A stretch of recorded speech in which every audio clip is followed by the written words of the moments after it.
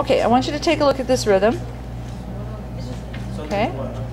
And what I'm going to do is I'm going to go ahead and print this off for you so that you can see it on paper, okay?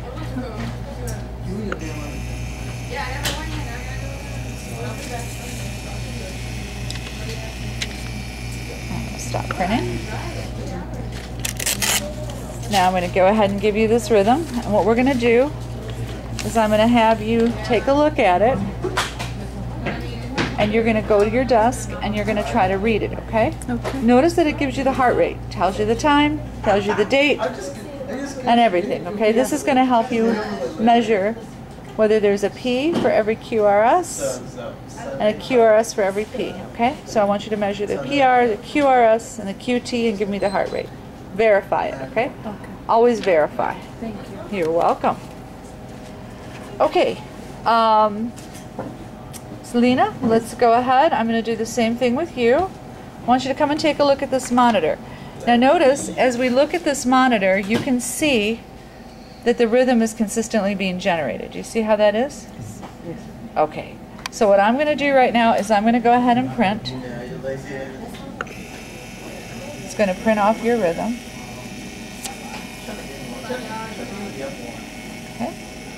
We're going to stop. We're going to hit print and stop. Okay, and here it is. And again, you're going to use this to measure your QRS, your PR, your QT, and give me a heart rate. The heart rate is there at the top with the date and time, but you're going to go ahead and verify it, okay? Yes. Cool. You. You're welcome. Alrighty, I want you to come and look at this monitor. I want you to look at how the rhythm is being generated. Do you see how the rhythm is being generated across? Mm-hmm. It's in like in real time. Alright, tells you the time, tells you the heart rate. So we're going to go ahead and I'm going to print a rhythm for you.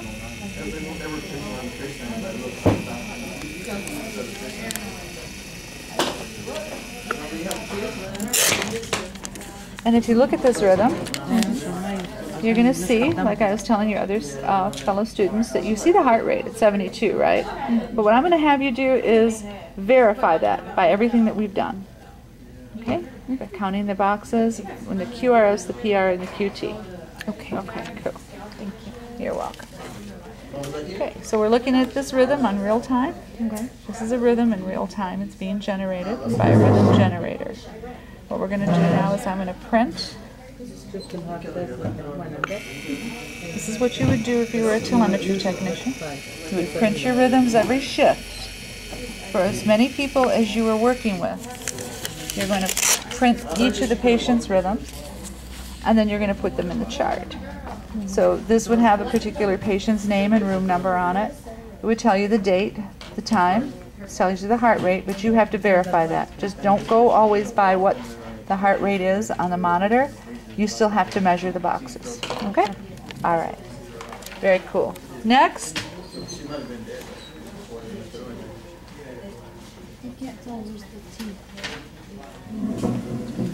Now you guys are looking at it for real. Okay, so Yorgo, you can see that this is a rhythm generator.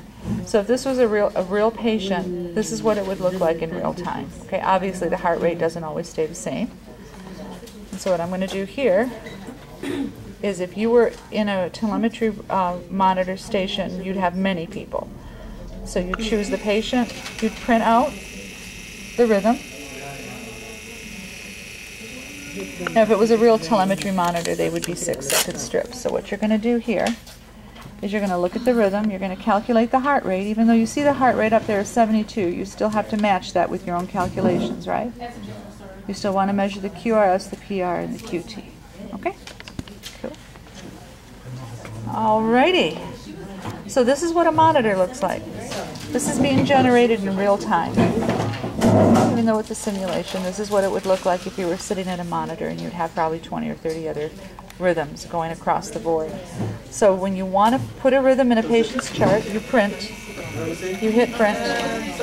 It's going to come through. We're going to stop print. And then if you take a look at this, even though it's got the date and the time and the heart rate, you're still going to calculate the heart rate, right? And you see the isoelectric line. All right, you're very welcome. Okay, next. let's say we can, I can do this with, with several of you, so come on up here, since you all came up. What you're looking at right now, even though this is a defibrillator, this is generating a rhythm. Now, in a telemetry room, you would see this rhythm being generated along with maybe 30 other people. So you can see how confusing this could get, right? Mm-hmm. Because this, obviously, if this was a real person, the heart rate wouldn't stay 72, and you might start seeing changes across the screen. What we're going to do right now is if you were a real, if you were in a real telemetry room, you would come to the machine, you would press print. Now, a telemetry monitor is going to automatically give you a six second strip, right? But this one, because it's a defibrillator monitor, we have to stop print, hit it again to generate a rhythm. Okay, so each of you are going to get one of these. Now, you're all going to calculate the heart rate. Even though the heart rate says 72, you still have to verify mm-hmm. by your own calculations that it's 72, right? All right, so let's go ahead. You still want to verify. You don't want to take the monitors at face value. That's why we calculate, okay? Does everybody have one now? Anyone? One more? Two more. Two more? All right, let's go ahead and go. A lot of times people sit in a very dark room. They call it the war room. Because you can imagine having to look at these all the time. Okay, one more? Yep. Alrighty. Keep going. Now, if you if you're fortunate enough to have different have uh, you know vital signs on these monitors, such as O2 saturation, blood pressure, etc., it makes things a little easier. You're welcome. Okay. So what you're looking at here is a real-time monitor. So this is generating, for instance, a rhythm from a patient. It's telling you what the rate is. You can imagine what this would look like with multiple people, right? If you had 30, like five monitors with five people, that would be 25. So when you're ready to print, you hit print. It's coming out. And we're going to stop print by hitting it again. And you're going to go ahead and take this and interpret the PR, the QRS, the QT, and the heart rate. Even though the heart rate says 72, you want to verify it, okay? Okay. All righty. come on up here, everybody. Okay, doke. So here we have a defibrillator, right? And it's generating a rhythm for us. Now it's kind of hard to tell exactly what this rhythm is. So what we're going to do, we can see the heart rate, but we're going to calculate our heart rate anyway. We're going to go ahead and hit print. And what's going to happen, it's going to generate our rhythm for us. Real time. And we're going to hit print again to stop it. And go ahead and you're going to take this and interpret the QRS, the QT, the PR, the heart rate, etc. Just like you did on the other exercise I gave you. Okay, and you can all work together because everybody should be getting, since you all have the same strip, you should all be getting the same answers or close to. Yeah. Now, next what I'm going to do is when we're done with this, I'm going to give you guys different strips. Fantastic. All right, good answer. job.